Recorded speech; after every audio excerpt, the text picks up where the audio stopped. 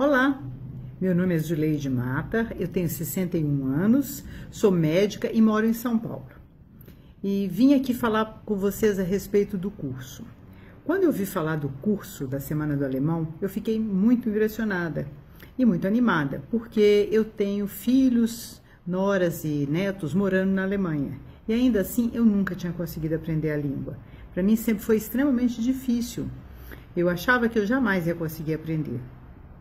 Eu resolvi topar o desafio. Já fiquei animada a princípio com a semana, porque para mim fez todo sentido tudo que a Andrea dizia, que a gente ia aprender o alemão da mesma forma que aprendemos nossa língua materna. Isso para mim é uma grande sacada. E é verdade. Hoje, dois meses, três meses depois, eu estou muito contente, porque eu já consigo me comunicar, coisa que eu não conseguia fazer antes.